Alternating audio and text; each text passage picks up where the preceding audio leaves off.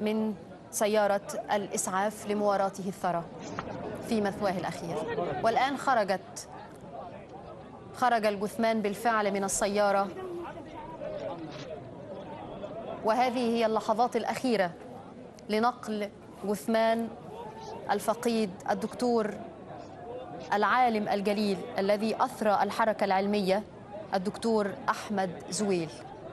رحمك, رحمك الله. وأدخلك فسيح جناته.